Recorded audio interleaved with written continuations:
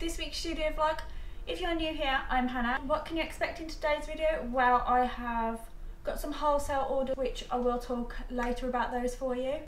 I have got three to four Etsy orders to fulfill so off the top of my head, I've got three or four mugs and some hangers. And then what I'm going to do is I'm going to prep for tomorrow, just so I can get ahead of myself. Because I know on Friday I've got about 18 orders that I've got to be out by then. So I'm going to prep a few days ahead so they can go out on time. Yeah, so if you follow me over on Instagram, you will know that I bit the bullet and decided to sign up for Patreon. So a little bit about what to expect from Patreon. I'm going to be sharing a deeper look into my business, what works, what doesn't work, where have failed, where have I succeeded, how did I get to this point, what have I studied, what have I done along the way, all things like that. So I'll be sharing that on my bi-weekly podcast. Is that the right word? Not sure. But I'll be doing them every two weeks. So what can you expect from the third tier? Well, I've decided to call this one community and I will be giving feedback.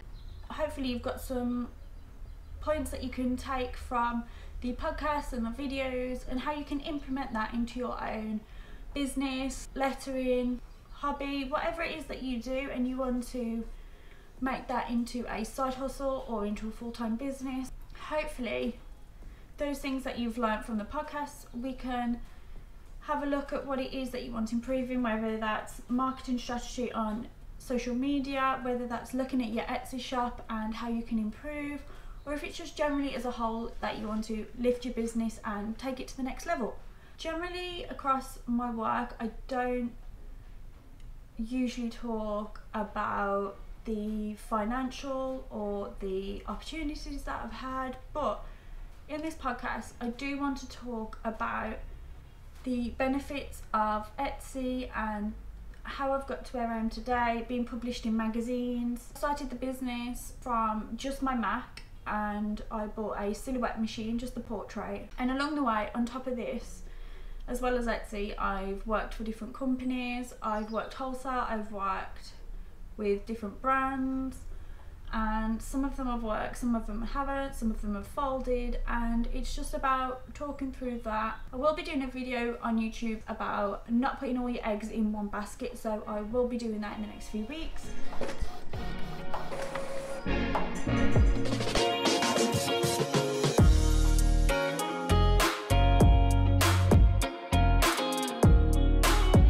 The first job of today is my mug orders and for this I've printed the design using my Ricoh printer and sublimation ink.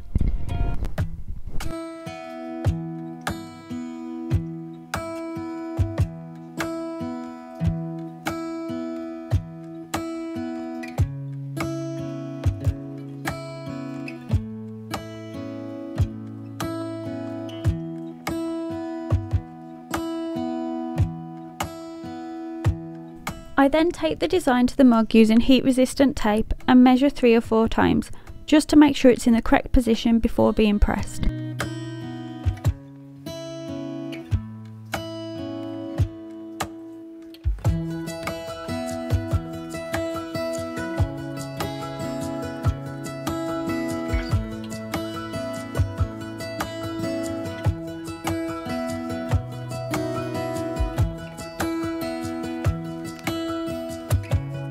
Turn the heat press on and I make sure the press is set to 346 degrees. I then place the mug in and close the clamp.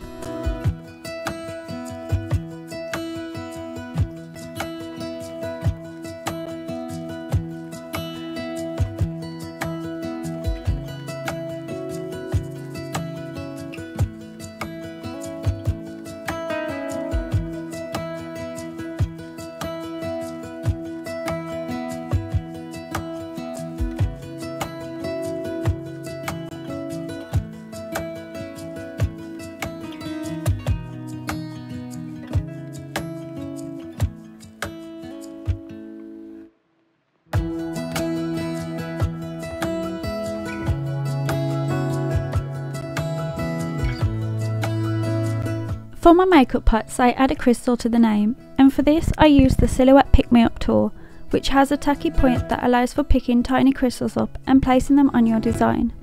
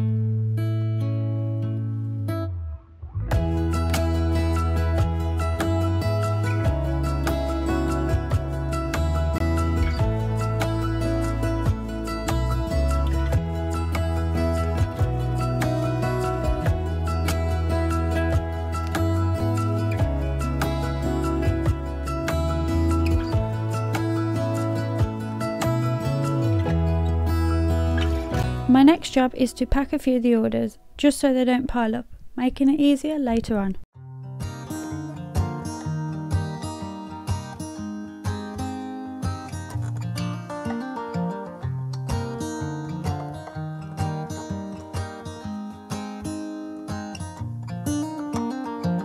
They were in high school when they met, and things got kinda awkward.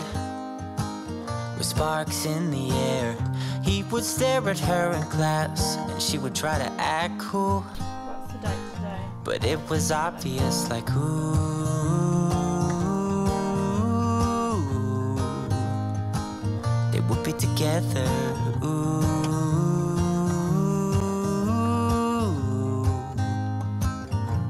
Then one day she said, Write me a love song, cause I know you'll make it beautiful. And maybe I'll call you my sweetheart and promise nobody can steal me away. Then I am yours, cause I want you and I wanted you to know. He looked at her and then he smiled, picked up a pen and paper, and started writing. Probably something about her eyes and how they're always shining, or something cliche like ooh.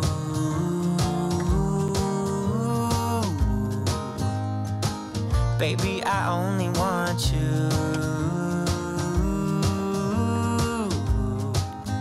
It's true. And then he said, I wrote you a love song, and I tried to make it beautiful.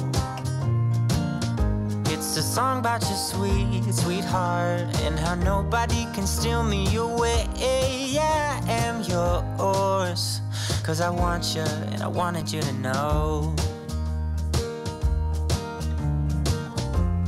As he sang, she started to dance. Grabbed his arm and took his hand. He held her close under the moonlight as they kept on dancing.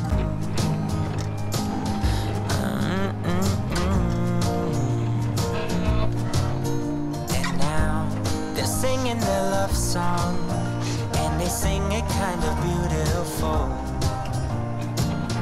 calling each other sweetheart. I promise nobody can get in their way eh, or steal the show. They're in love now, and I wanted you to know. Some of you on my Instagram, or if you've noticed in some of my YouTube videos, will notice that my sister is in the background, and you always ask, What is it she's doing? So I thought I'd turn the camera around, and it is her turn to answer my questions. Hi, I'm Rachel. I own um, the Stables Printing Company, uh, just part time because when I'm not here in the office, I like to roller skate and go to my local circus school where I teach. Um, so this is my part time work. I take this and turn it into bespoke orders, whoop, like this. This is how we're going to do some garment printing cut your vinyl Using what software? silhouette.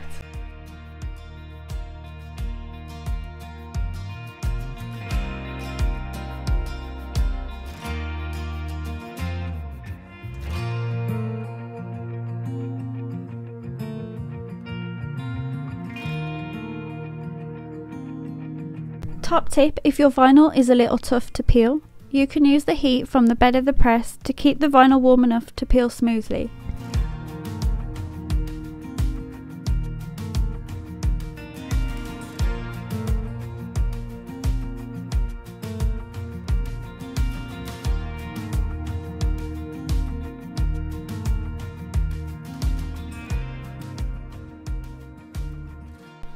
Here's my white hoodie.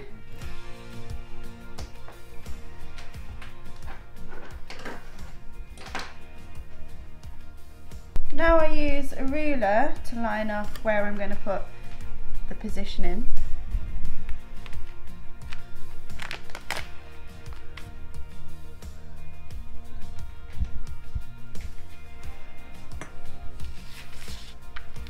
I like to make sure that it's right, so I hold it up, have a check. How is it right? Looks good. Looks good. So it's ready for the press. Next I carry it over to the press which is already set at 170 and we press it for 15 seconds making sure that no dirts go onto our hoodie. I like to put a sheet over the top and press it down. 15 seconds. What can you do? I like to juggle.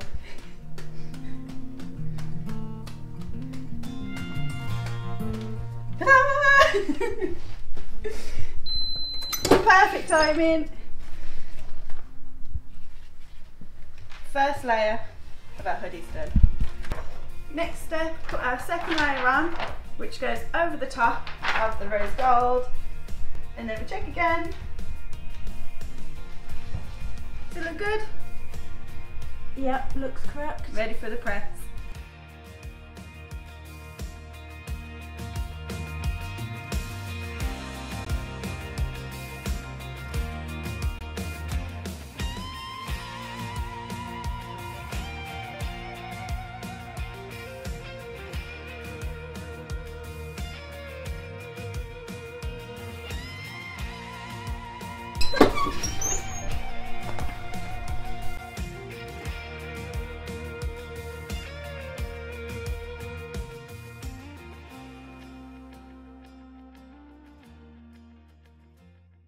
Finished garment ready to be checked and packed.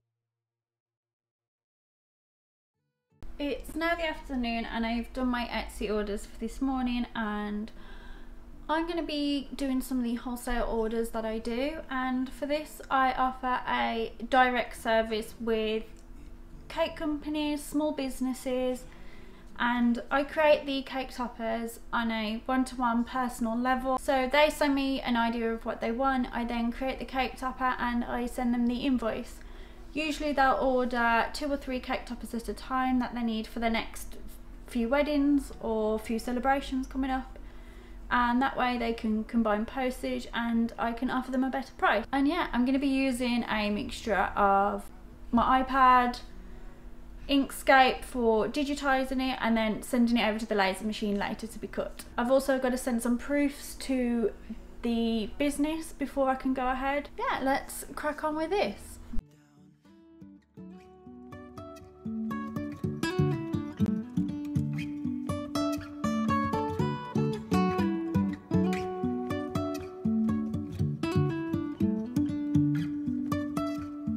Jumping from cliffs so high. Trusting our wings to fly. Sometimes we're crashing down But we get up and start from the ground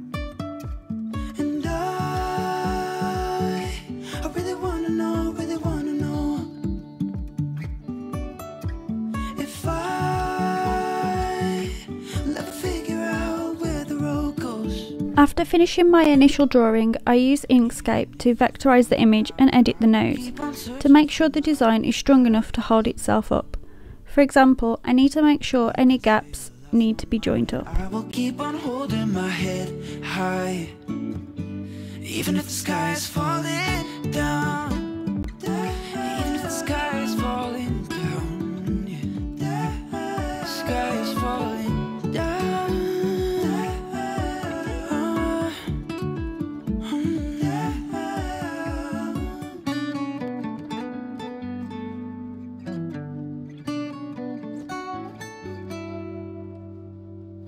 Even if the sky is falling down Even if the sky is falling down. The sky is falling down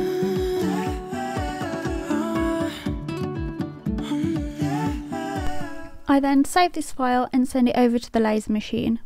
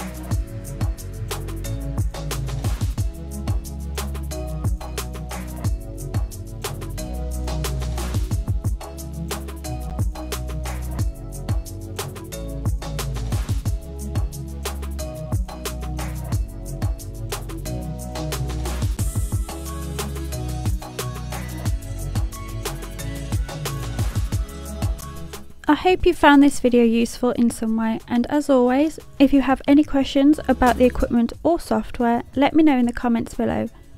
Thank you for watching and I'll see you in next week's studio vlog.